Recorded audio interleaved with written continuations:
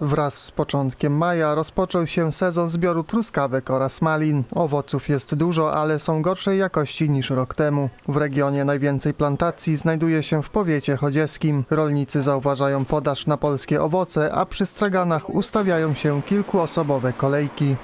Polskie są dobre, bez oprysków. Pewnie, tak przynajmniej myślimy. Bez jakichś tam, nie wiem, sztucznych nawozów. Staram się popierać nasze, nasze produkty. Szkoda, że większość tak nie myśli. zawsze są hodowane bez e, przesycenia nawozami sztucznymi.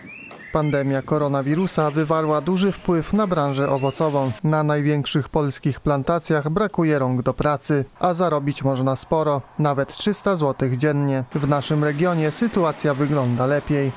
o pracowników e, nie jest aż tak ciężko. Naszych e, rodowitych e, pracowników korzystają również gospodarstwa z, z pracowników z zagranicy, z Ukrainy.